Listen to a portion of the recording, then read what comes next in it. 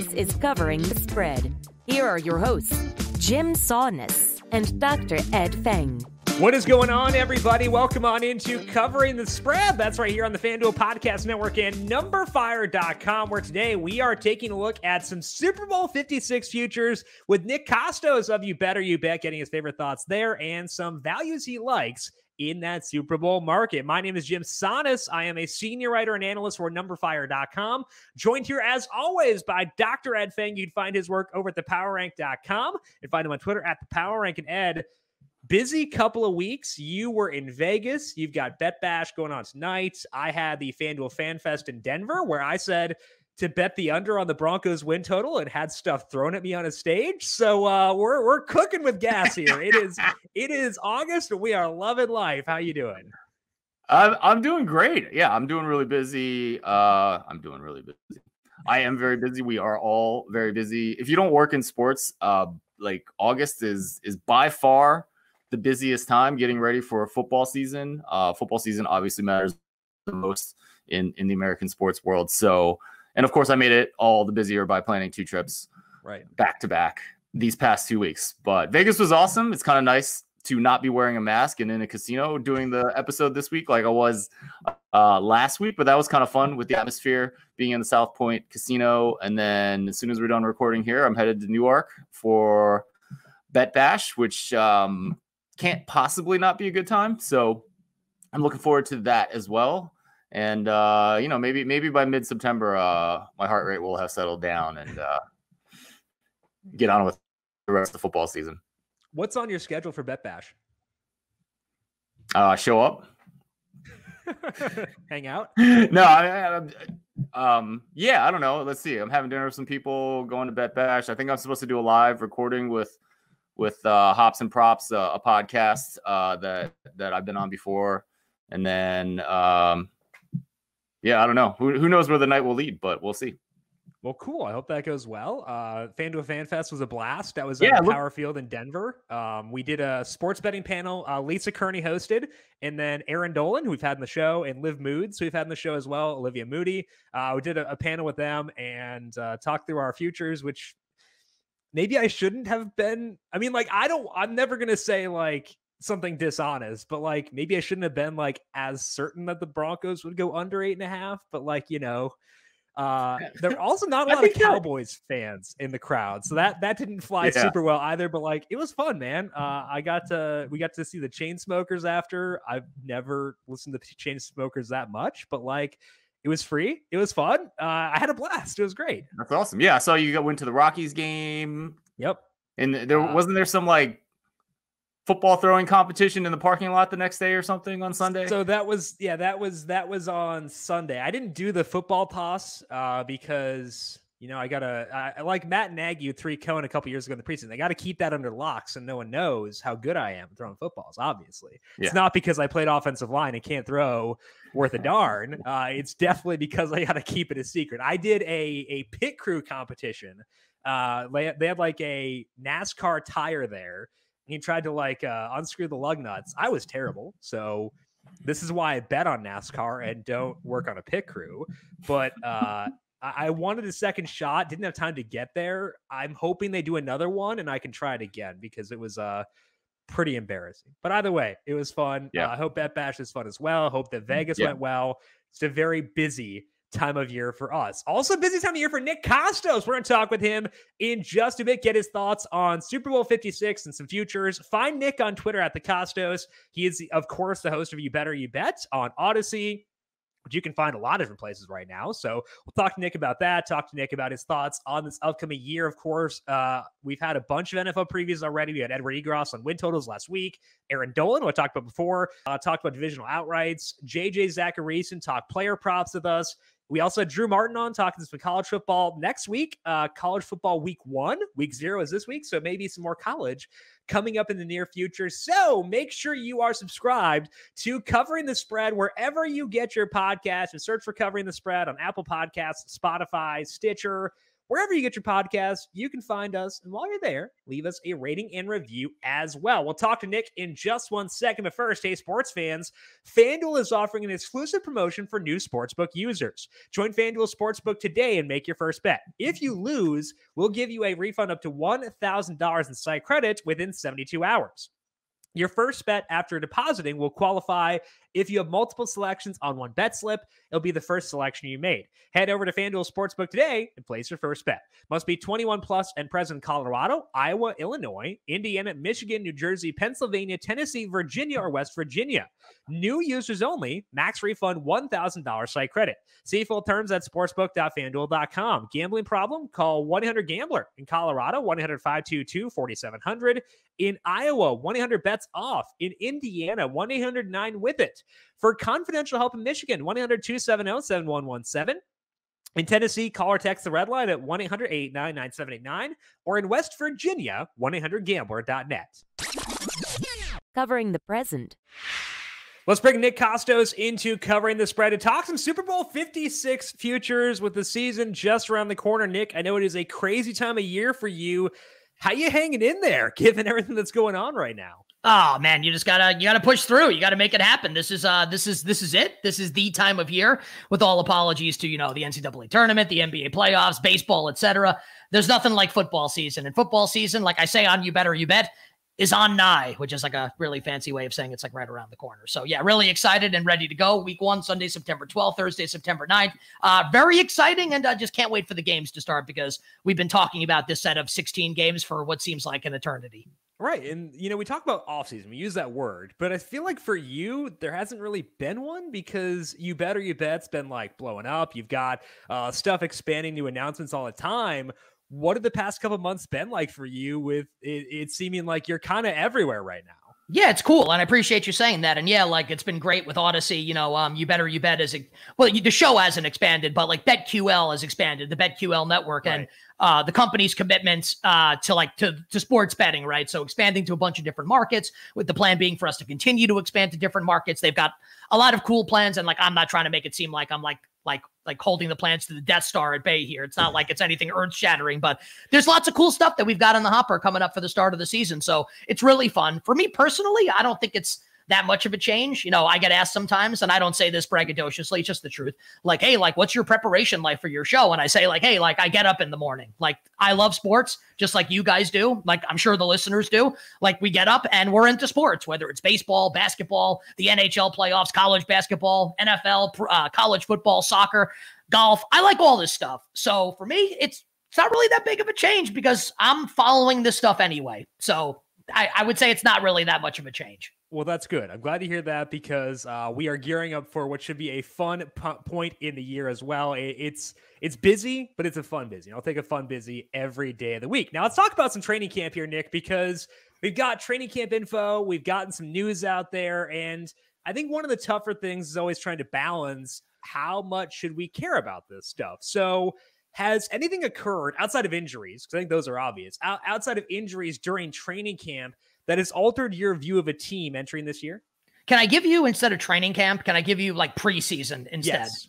And like, I, and I want to use a team as an example here. Um, I think my opinion of the Jets has been has been altered here by a couple different things. The first would be the the season ending injury suffered by Carl Lawson. I think is like a major deal, and like we talked about this on You Better You Bet. Like as far as like the spread of a game. I don't know that Carl Lawson is a spread impact player where he doesn't play in a game and the line moves, right? I don't know. He's not like Aaron Donald in that respect, right?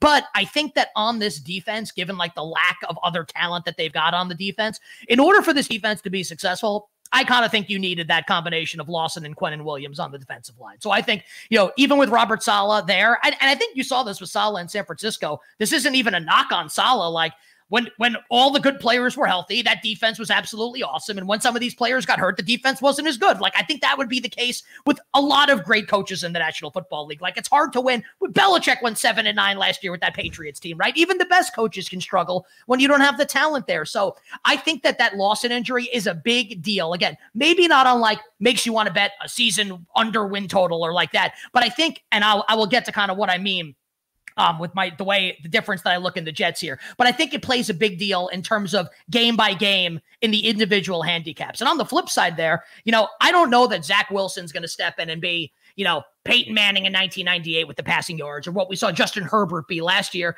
But I also think he's he's been awesome in the preseason. And I know it's been against backups, but like he's showing a lot of poise. He's got an absolute cannon. I look at Corey Davis and I'm like, this guy's the Julio Jones in this offense. Now, he's not as good as Julio, but in the Shanahan LaFleur offense here, he's going to get a billion targets. Elijah Moore is going to be back at some point. Like I like Michael Carter. Like if Mekhi Becton works himself into shape with Alijah Vera-Tucker on the left side of that line here, what I'm getting at here is like I think the Jets are going to be an over team this year, at least to start the year. And I don't mean over in terms of win total. I mean over in terms of points scored in their games. So like week one against the Panthers, you guys tell me how like that should be the second lowest total of the week when there's so much unknown with both teams, with the Panthers with Sam Darnold and this new offense with Joe Brady, with with the new quarterback in Darnold, and then with the Jets with the new rookie quarterback in the new offensive scheme here. How that total can be 43 is beyond me here. So I'm sure the market can adjust as time goes on here, but at least early in the season, like that's one example I would say where I have seen something in training camp or the preseason where I'm like, okay, this kind of did change the way I uh, I look at a team heading into the year. Yeah, it'll be interesting to see what the, the rookie quarterback can do. I mean, there, there are always doubts about that. Nick, I wanted to ask you more about how you're viewing kind of long term bets, right? It's not 2020. We don't have the mass uncertainty that we had last year, but 2021, we still have some uncertainties with uh, the pandemic. Um, how is your confidence level in betting season long win totals, champion futures, division odds, so on and so forth? Um, I I kind of like try and not think about that. I just think it's such like an well, it's I I don't even mean to be glib when I say that. I just think it's like right. such an impossible thing right. to handicap. I mean, like uh, you know, we're a year plus into COVID, and I still feel like there's like so much unknown. Um, it's you know, I have uh, a friend who's the husband had it, sleeps in the same bed with his wife. Wife never got COVID. Like they they both got tested. Like that's a thing that happens. That may be abnormal, like for what a lot of people have experienced. But I, my my point is, is that I guess we don't know, right? So I think it's like I know people want to say, oh well, you know, Kirk Cousins, for example, or like the Cam Newton situation at Patriots camp, like unvaccinated players, whatever. I, I, I just feel like we just we don't know, and I'm not willing to make that a part of my handicap, and I just don't know. So I am maybe foolishly, maybe we come to the end of the season, and I'm like, man, like this cost me some money here kind of look like an idiot. Um, it's possible. So it wouldn't be the wouldn't be the first time. It wouldn't be the won't be the last, you know. But I I'm trying like to not make it a part of my handicap, and just because I just feel like who the hell knows what could happen. It could happen. It could not happen. So I'm kind of operating under the assumption that things will be kosher, which obviously they probably won't be. But who the hell knows where like the bomb's going to go off, so to speak. Maybe that's a bad analogy, but I think you understand what I'm saying. Does it impact your willingness to bet the futures market in general, given that we actually, like you said, we don't know how it's going to impact stuff? Are you betting futures at the same rate as you did previously? Have you scaled back, scaled up, maybe even potentially, or is it pretty much a status quo for you? Yeah, I think it's probably about about the same as what I've got. I feel pretty good about a bunch of them here. I I'll, let's, I'll talk about the Vikings for a second. Like, look, obviously, you know, the Vikings are really interesting because – you know, we've barely seen Cousins play in the preseason in the first two games. And when we did, he was getting sacked by Kwity Paye of the Indianapolis Colts. These the backups for Minnesota are like not not striking fear in the hearts of anybody. Like maybe Kellen Mond like can turn into something, but you know, Jake Browning's absolutely terrible. He's awful, right? So if I like I like Minnesota's win total of nine because I feel like at worst, like you push on that bet. Um, Detroit's obviously going to be bad. Like by design, I think they're going to be bad. Um, Chicago's offensive line is so brutal that I don't think it matters who they start a quarterback. Like I, I would like to be bullish on them with Fields, but the line is absolutely terrible. So it's hard to feel good about them. Vikings are getting so many pieces back on defense. You know, Danielle Hunter, chief among them here. You know, the offensive line in theory should be better than it's been in the Kirk Cousins era once they get Christian Darrisaw back, the first round pick from injury, the left tackle. So I feel like at worst, you kind of like push Vikings over nine. But I mean, if Cousins is going to miss time and it's like Kellen Mond or Jake Browning, like they're in big trouble. So, you know, like I acknowledge that that's maybe I should kind of take it more into consideration, but maybe foolishly, I'm kind of operating under the assumption that we're going to see Cousins and these guys play the full season and whatever happens, happens. But like that's that's one that I like. And I say I'd say I have about the same amount of futures bets right now. Okay, perfect. So that's that's good to know. So let's talk about some Super Bowl futures then. Talk about some teams you may be on for this year. But I think before we talk about who you want to bet. We have to talk about who you can bet because not every team has the upside to win the Super Bowl. Like there is a limited number of teams, at least in my mind, who can actually do it. So to you, Nick, when you're looking at the landscape for this year, how many teams, like you have to be exact, but like roughly how many teams do you reach the threshold of being a viable Super Bowl contender in 2021? All right. So I think let's include like theoretical upside, right, in this conversation. So yeah. these are teams that are maybe not like valued highly now to potentially win a championship, but teams that I think would have the theoretical upside to win a Super Bowl championship. So we can kind of go by division. In the AFC East, Buffalo, obviously. I also think the Dolphins' theoretical upside is to win a Super Bowl if Tua is awesome. Like, I think on average, the Patriots win more regular season games than Miami.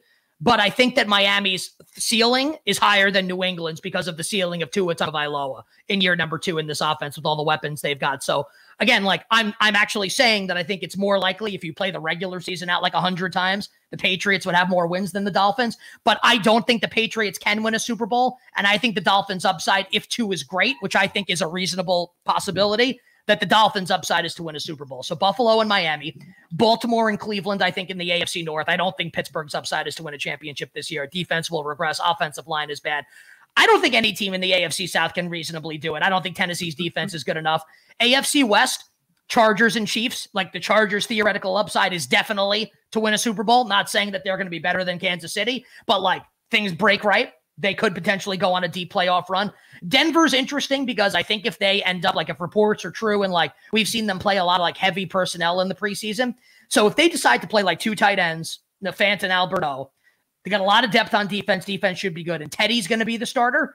And like they're going to play ball control and not try and turn the ball over and lean on their defense. I think Denver becomes a lot more interesting, but we can leave Denver out just because I don't think Lock and Teddy kind of have that upside to win a championship. I don't think any team in the AFC East does probably just the Packers in the NFC North, just the Bucks in the NFC South, and I guess like you could say three teams in the NFC West just for the sake of conversation. Russ, I think elevates Seattle to that level.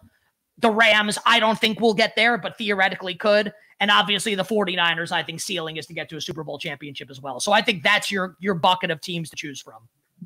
So you still feel pretty good about the night. I mean, you know, I, I, I think the vast majority of those teams have a solid situation at the quarterback position. You know, the two that don't are Denver and San Francisco. So you feel like there's enough upside. I mean, I like both those teams on. Oh, I like particularly Denver on the defensive side of the ball. Um, but maybe with the Niners, how much does a quarterback controversy maybe get you off that take? Well, I just yeah, I just want to say about Denver, like I don't I, I just think Denver becomes more interesting, like as like an over team potentially, or like week mm-hmm. one against the Giants is a road favorite here if it's Teddy, and they're gonna kind of change the way they play as opposed to last year when it's lock slinging it around and throwing tons of picks. So I don't think Denver's upside is to win a Super Bowl this year with the quarterback okay. situation. But like I do think they become a lot more interesting if it's Teddy and they kind of change the way they play.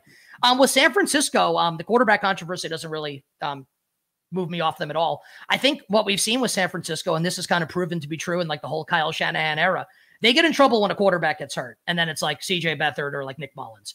So I think they mm-hmm. ride Jimmy Garoppolo until the wheels fall off, either until Jimmy sucks or until Jimmy gets hurt. And then Trey Lance comes in. And then, like, you know, and it adds like a different dimension here. Now, the game, I think, in, at moments, I know that Twitter is kind of like goo goo gaga for Lance and for Justin Fields and for the other rookie quarterbacks. And I understand that.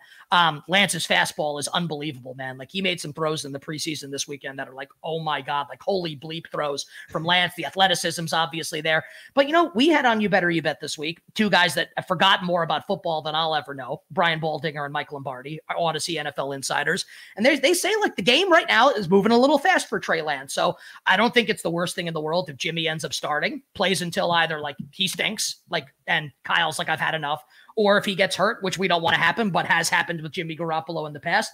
And, and kind of in comes Trey Lance. So I kind of look at the 49ers as like they've got a fallback plan this year in case things go awry at the quarterback position, whether it's Lance starts and Lance can't get the job done and in comes Jimmy G, or vice versa. So I, I actually feel pretty good about the Niners either way as we head into the season. Yeah, I think that that boosts their floor a lot, and they've shown in the past they have a ceiling when things are right. Like Jimmy Garoppolo has been an above average, from an efficiency perspective, above average quarterback in this system. He's not. They went to the Super Bowl. They, right, they, they, exactly. yeah, they had a lead going into the fourth quarter two years ago in the Super Bowl. Like I'm not one saying overthrow that. and they're Super Bowl champions. Yeah, So, and that's a, it's a really bad overthrow, obviously. But I know that I know that we all we all recognize that. But yeah, I mean, Right. I'm not saying Jimmy G's great or that he has the ceiling of Trey Lance. Like he doesn't. Like Lance is going to be the guy, obviously, probably sooner rather than later, and that's what it should be. But uh, but it's not like Jimmy's a loser, you know. Like he he gets hurt, throws some bad passes sometimes, but man, like he did go to a Super Bowl a couple years ago. Like I don't think He that can be discounted. Yeah, exactly. Yeah. So I think that their range of outcomes is good, and I think that that I would agree with you that the ceiling is there where they could realistically make that happen. So speaking of ceiling, let's talk Bucks and Chiefs. Uh, they are uh, five to one and plus six fifty respectively. Uh, any lingering value in either of those teams, Nick? Given that they are the the the favorites here, or is that too short of a number for you to bet? Uh, you know, despite how good they are. Um, I I think there's still value with Tampa. Um, I look at the Bucks this year, and I'm curious if you guys agree with this. I think they have the opportunity, and I'm not like planting my flag in down and being like, "Hey, like this is absolutely going to happen," but I think there's a good chance it could happen. Um, and I think it correlates to a couple different bets where I, I think we could realistically look back on this Tampa Bay Buccaneers team 5, 10, 20 years from now and say, this is one of the better teams we've seen maybe in the history of the National Football League. Like I think they they actually have that upside to be legitimately historically great this year. Everybody coming back. Joe Tryon looks ridiculous, obviously, the rookie pass rusher. Now you put him with Shaq Barrett and Jason Pierre Paul. Um, and the the NFC is just not as good as the AFC, right? Like I don't see any team in the NFC East challenging Tampa. Green Bay would be the one team in the North. I, guess like people will make the case for the Niners or the Rams or the Seahawks. I'm not going to. So I think Tampa's clearly the best team in the conference here. I I I think their upside is to go 15 and 2 or 16 and 1 in the regular season. Like not saying it's definitely going to happen in a 17 game regular season. They may have things wrapped up early and sit guys down the stretch. Like that's a realistic possibility. So I'm not saying they can oh, they can definitely reach those lofty goals here, but I think Tampa's the best team in football, not Kansas City. Now that's not meant to be a knock on the Chiefs, more meant to be a compliment to Tampa. I think, you know, we could very well be staring down the barrel of a Tampa Kansas City Super Bowl rematch here. But I like Tampa plus 650 if I had to choose between one of those two, because I think Tampa's more likely to get to the Super Bowl than Kansas City is because of the path. And I think a correlated bet to make with Tampa, and curious if you guys agree with this. And I know, like, when we talk about coach of the year, it's generally a situation where, like, a new coach comes in and, you know, exceeds expectations or the team improves by like four games, whatever. Like Kevin Stefanski did it last year. You know, we've seen this happen numerous times with coach of the year, but I'll direct you guys to the 2007 New England Patriots. It's just one example of this happening where the Patriots in 2006 go 11 and 5. Um, we're up 21-3 in Indianapolis in the AFC Championship game. Asante Samuel pick six of Peyton Manning. We think it's all over. Patriots going to be Peyton again. Here comes the big comeback, right? And the Colts win 38-34, cover the three and a half point spread. I remember because I bet it on that championship Sunday in 2006. And uh, and the next year, the Patriots go 16 and 0. Obviously, undefeated regular season. Belichick wins coach of the year. So it wasn't like they were, you know, four and 12, went nine and seven the next year, one coach of the year. So like there's historical precedent for this happening. If if Tampa, who went 11 and 5 last year, didn't even win their division. If Tampa goes 15 and 2 this year or 16 and 1, why can't Bruce Arians win coach of the year at 22 to 1? Like, why can't that happen? You also have the media narrative built in there where Arians has two coach of the years already under his belt with two different teams. Won it with Indianapolis as the interim coach when Chuck Pagano had to step down with leukemia with Andrew Luck, and then won it in Arizona with Carson Palmer and the Cardinals. So Arians is a guy that the media loves. This would be his third coach of the year with three different teams. So I think that's something that plays into his favor perhaps here. Like, I'm not saying it's definitely going to happen, obviously. I just think that at 22 to 1, if we actually reasonably think that Tampa's an outcome for them could be 15 and 2, 16 and 1, historic type of regular season, why can't Bruce Arians win coach of the year at an inflated number? You can actually get it at an even better price at FanDuel, 30 to 1 for Bruce Arians, longer than. Well, you know, I'm a uh, Bet Rivers guy. I know this is a FanDuel Right, no, uh, yeah, show, yeah, but you're yes, you know what I'm saying. but he's longer than Urban Meyer, longer than Mike Vrabel, Mike McCarthy, Vic Fangio, Joe Judge. That's Yikes. interesting. So I think that's that's pretty interesting there for sure. Okay, let's step down from that top tier. and To talk watch, about the to, to watch Brady will get hurt and they're going to win like four games and he's going Right. to retire to go to go play Well, golf in Florida for the rest hold, of his on, life. but hold on, Nick. But I think I, I want to bring this point up because you, I, I personally, what what you just said, I believe there's a wide range of outcomes for Tampa Bay. I believe they could be the best team in the NFL. I believe Brady could finally start acting 43 years old, right? And I really enjoy because you said this similarly with Miami, right? It's not just you know some people, some teams have a higher variance than others, and I enjoy you're bringing that out about teams because I think that's the right way to think about a lot of these bets, especially when you're looking at low probability thing like winning a Super Bowl. All right, on to you. Yeah, so I think that that finding variance is good in a lot of situations. Let's talk about the second tier. Uh, if we see value in the Bucks at plus six fifty, Nick, any value for you on teams like the Packers, Bills, Ravens, 49ers, Rams, and Browns in that second tier, the 12 to 16 to 1 type tier? Anybody in that group stand out, or do the Bucks kind of push you away from betting in this second tier? I, I kind of like Miami if we're going to get past that. Going to get past Okay. that tier here. And again, like I, the acknowledgement here is that Miami's floor is to win like six games this year if Tua sucks, right? Which you have to. I'm a I'm a Tua truther. I think Tua is mm-hmm. going to be awesome. I like the way Right. this offense is going to be catered around him as opposed to last year with Fitz. Love the weapons here. Flores, I think, is shown to be a good coach. A lot of talent on defense. If the offensive line is not absolutely brutal, I, I think Miami's upside is to win a Super Bowl championship, and Tua's upside is to be MVP. Like I think that that is within the range of outcomes. Again, So they could Nick, also my suck. only Super Bowl, my only MVP bet this year at Bet Rivers. There you go. Uh, sixty-six to one. Tua Tagovailoa. I'm Love on it. board, man. Love it. I think the Yep. other one in, in that tier, um, I I really like Buffalo. I think Buffalo is the third best team in football. Um, what are the FanDuel prices right now in Buffalo and Baltimore? Um, let me find that for you. Um, for Super Bowl. Yes, Okay, so to win the Super Bowl, Buffalo is twelve to one. Baltimore fourteen. I I think I I don't I li- I really like both of these teams. I like both of them. Um I think and um this may be something you guys disagree with also. I think Cleveland's is more likely to have a better regular season than Baltimore, but I think Baltimore's upside is higher than Cleveland's. Like I give Baltimore a better chance to win the championship, to win a Super Bowl than I do the Browns. Um, I think this Baltimore passing game, obviously not film at 11 here, is going to struggle. You know, Hollywood Brown is barely practiced with the hand. Like you don't want a speed guy to have a hamstring. That's that's problematic. Bateman's going to be out until October with the groin. So I mean, I think it's going to take some time for Baltimore's offense to round into shape. But I mean, you know, my co-host on You Better You Bet, Ken Barkley, Lockie Lockerson, made a really interesting analogy, drew an interesting analogy with Baltimore um, last week on the show. And it's not apples to apples. So we're not saying it's the same exact thing.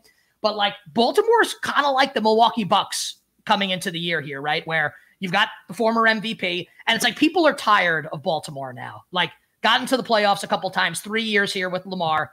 You know, they they finally got over the hump and they won their first mm-hmm. game thanks to some Mike Vrabel stupidity at the end of that wild card game in Tennessee. And then Lamar throws the pick six. Uh, we ended up losing a teaser on Baltimore in that game because Justin Oh. Tucker missed like nine field goals and Lamar threw that 100 yard pick six, which is aggravating. But it's like people are kind of like out on Baltimore. I feel like, as far as the ceiling is concerned, like to get to the Super Bowl this year. And I think Baltimore's got like not a terribly easy schedule to start the year. Like they see the Chiefs in week two, they never beat Kansas City. So maybe wait on Baltimore a little bit if you want to make like a futures bet on Baltimore to win the Super Bowl here. Buffalo, I, think Buffalo's upside is to be like again like 14 and 3 this year.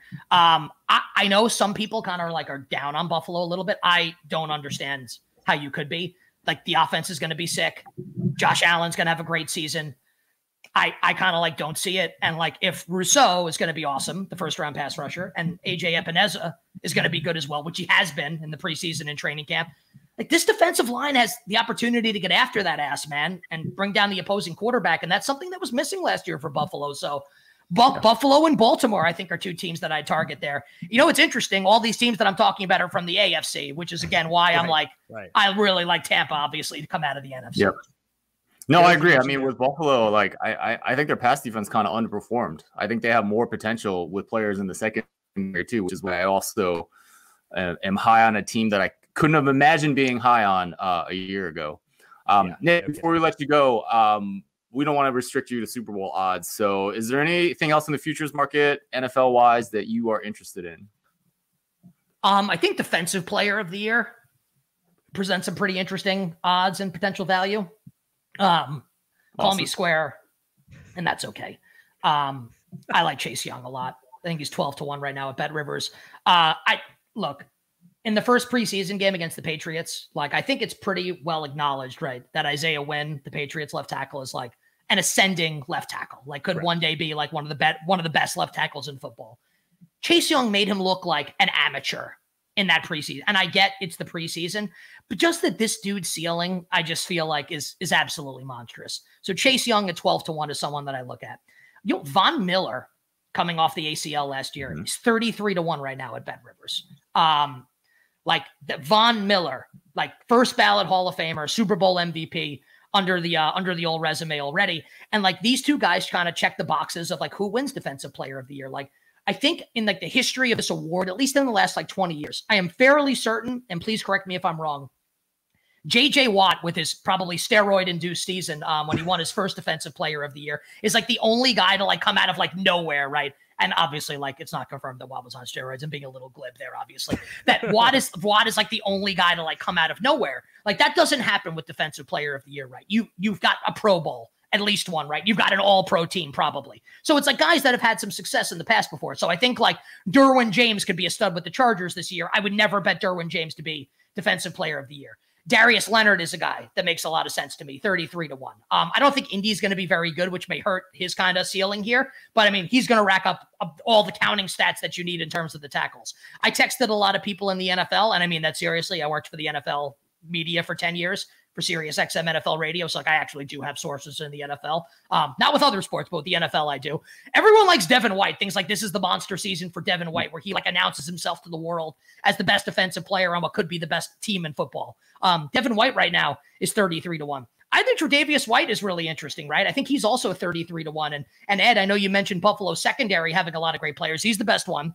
If Buffalo's going to have this monster season, he's the best player. Like, why can't he be like Stephon Gilmore in 2019, like the best defensive player on one of the best teams that wins defensive player of the year? So I think that market is really interesting.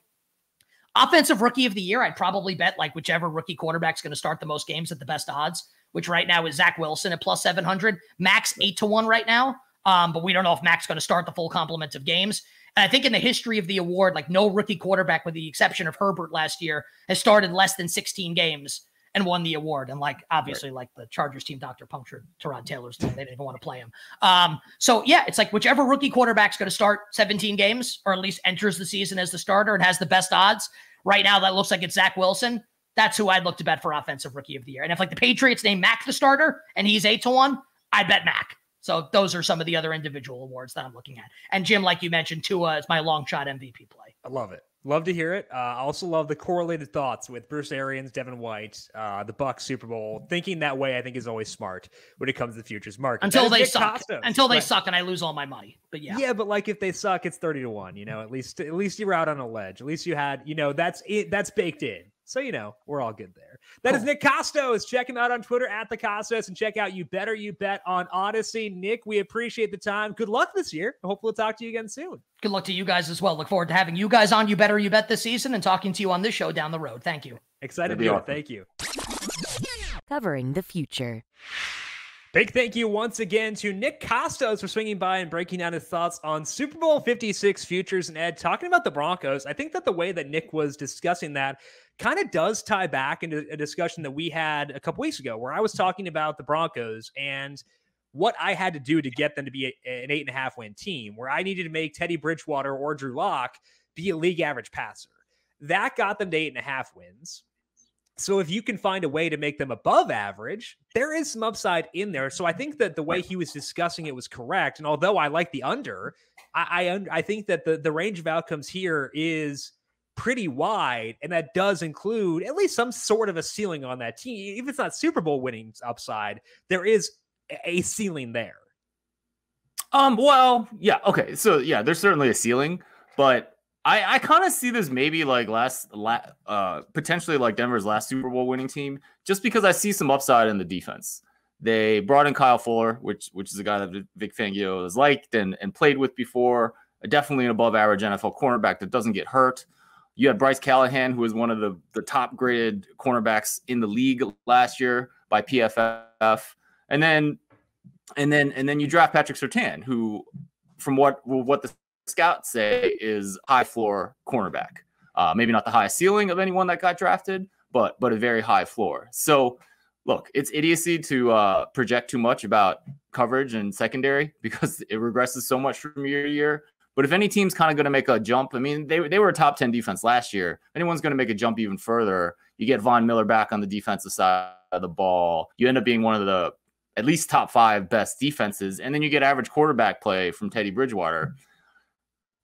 You know, and and like yeah, I don't know. I, I I potentially I see some hope with with this Denver team. Um and uh yeah so anyways I, I think i think it's interesting I, I, I would not i would definitely not go over i've not i sorry i would definitely not go under on the team i've not bet the over because i'm not again it, it's so volatile with defense from year right. to year but i do think that with those two new pieces and getting von miller back from injury that defense has the potential to be really good I think that ties something we discussed at the FanDuel Fan Fest. Lisa asked me, you know, so you like the under would you bet them to miss the playoffs, which is minus 190? And I said no, because I recognize that the range of outcomes is so wide.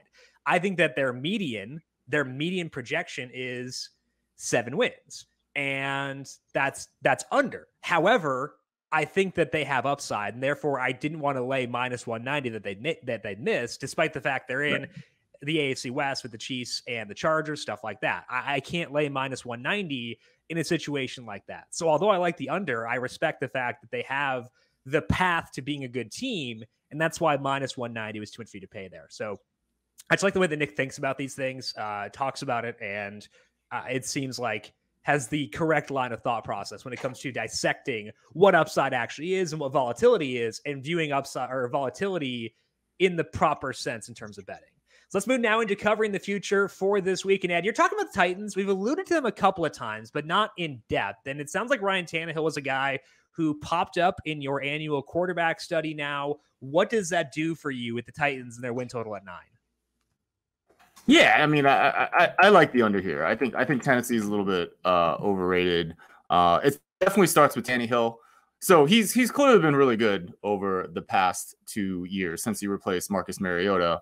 Um, but as I've talked about, you know, some of my research has shown how uh, you know interceptions from last season or interception rate from last season isn't a very good predictor of what's going to go forward. Um, but when you look at bad balls, which is basically all the situations in which a quarterback puts the ball in dangerous position, so this is the sum of interceptions plus passes defended, that tends to be a much better predictor of interceptions. And Ryan Tannehill um, only during his time during Tennessee. Let's not even let's not even count the years that he was with the the NFL quarterback morgue keeper and Adam Gase in, in Miami.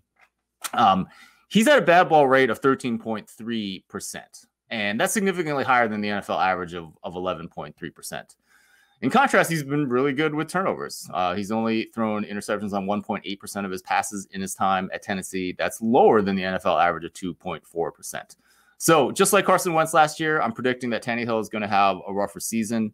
Um, you know, he's been excellent in EPA per dropback. When you look at the metrics that that Ben Baldwin uh, tracks over at whatever his site is, uh, go check it out. Um, but part of that is, you know, I mean, interceptions are very minus uh, expected points plays, right? So, so when you're getting fortunate, which is what my analysis said, he's gotten fortunate over the last couple years in terms of throwing interceptions. He does put the ball in dangerous positions, and you know we expect that to regress. And then you know Tennessee's uh, defense was a complete dumpster fire uh, last year, and so in some sense they're kind of starting over. They got rid of cornerback Malcolm Butler. Um, when we're looking at their secondary, they signed Janoris Jenkins, who's definitely a good average NFL cornerback, but he is 32 years old. Um, they're kind of uh, starting uh, they're looking to rely on Kristian Fulton, who was a second round draft pick in, in 2020 at the other cornerback slot. He was hurt a lot last year. And then the, the other guy that they're potentially re- relying on back there is Caleb Farley, who is a rookie that is um, a high ceiling type of cornerback, but also a guy who had back surgery, uh, I, I, believe, within the last 12 months. so, couple, how are? Yeah. What's that? He's, I think he's had a couple within the past think, couple months. I think. oh, has he had a couple back surgeries? He's yeah, had at he least had one ACL at some point. I think he's had two back surgeries. It's at least it's at least one, but there's potentially a couple in there. Yeah, and he didn't play football in in 2020. Uh, Um, so when I look at who they're relying on in that secondary, it doesn't give me a ton of confidence that that they can come back. I mean, they did they did add some pieces to the pass rush, which I which I think will help. Um, they did add uh, obviously Julio Jones on the offense side of the ball, so they are kind of in a win now mode. But I I, I don't see it happening. I think they're very, they're going to be a very average team.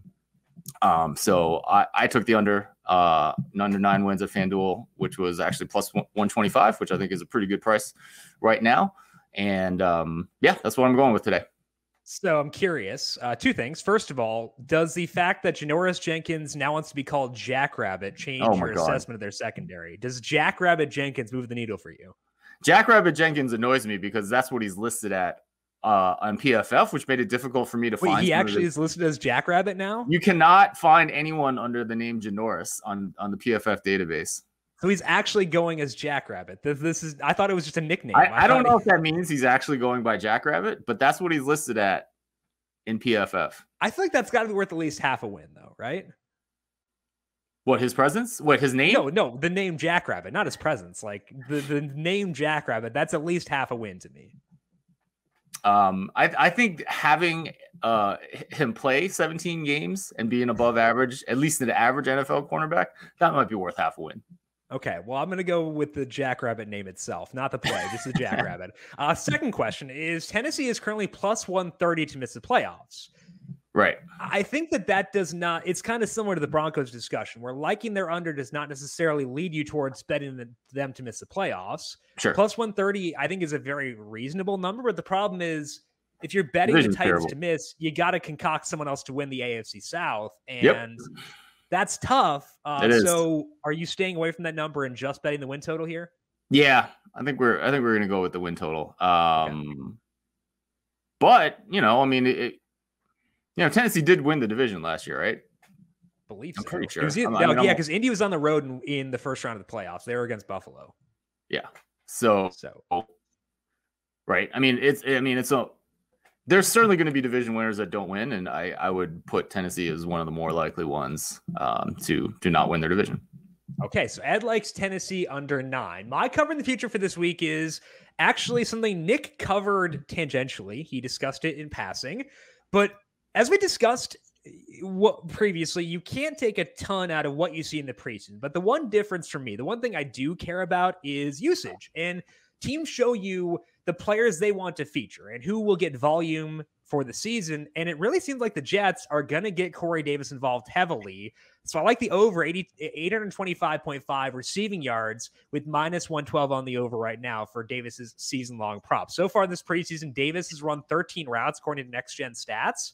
He has been targeted on 10 of those 13 routes. No other player who has run at least 10 routes has been targeted on more than half their routes. And Davis is at like 76%. So obviously that's not going to stick. But it does show they are scheming him touches and getting the ball. And it shows that Zach Wilson trusts him and has a rapport built up with Davis already. Now, it, is worth noting that Elijah Moore, their second round rookie, who was tremendous in mini camps, has not played yet. He's been getting rave reviews in practice, but he also hasn't played because he had an injury, which means he missed time, key practice time, developing with Wilson, getting that chemistry.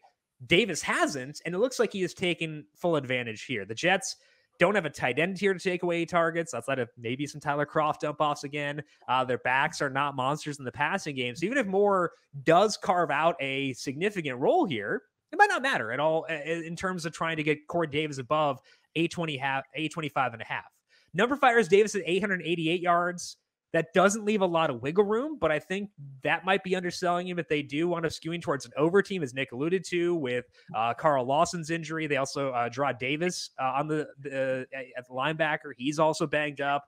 They could be a team that has to, you know, make up some deficits. I've got them as a 5.9 win team. That could bode well for some passing as well. So I am down to go here and check take the over and hope that the preseason chemistry between Davis and Wilson carries over into the regular season. And I think that Nick's analysis there was correct. And I agree with it, where the Jets could be a team that is a bit more high scoring, or the games could be more high scoring than perception, given how good Wilson has looked, given the Lawson injury, the Davis injury, and stuff like that. So I think that uh, Corey Davis over 825 and a half, pretty attractive for me. Uh, Ed, any thoughts for you on the Jets so far? Obviously, too too early to tell on Zach Wilson, stuff like that. But just broad thoughts on this team entering 2021. Yeah, I haven't I haven't done my deep dive yet, but I I'm always gonna fade rookie quarterbacks. I think that's just kind of a, you know, I mean, obviously it doesn't work out with the Justin Herbert sometimes. Um, but Justin Herbert is more the exception, that's for sure. well, it gives you an opportunity to fade him in year two, as uh, the Football Outsiders uh, people are this season. So yeah, um, I don't know. I mean, they, I I think I, I don't know. I I don't think of them much as a team right now. I don't know if they're going to be worse than Detroit in my mind because Detroit might be the worst team in, in football, as I talked about mm-hmm. last year. Uh, sorry, last week. But um, but I mean that that might be a good thing because they'll be down, they'll be throwing a lot, and uh, that'll give a lot of opportunities to get yards yeah, that's the goal here. And just the the rapport seems really good. So Corey Davis over 825 and a half, uh, the first Jets future I've got for this year. That is all the time that we have here for today on covering the spread. Once again, big thank you to Nick Kostos for swinging by. Check him out on Twitter at the Kostos and check out You Better You Bet on Audacy or where, wherever you get your podcasts as well, because they do post it after the fact uh, as well. Uh, big thank you to Nick as always. Ed, what is going on for you this week over at the Power Rank?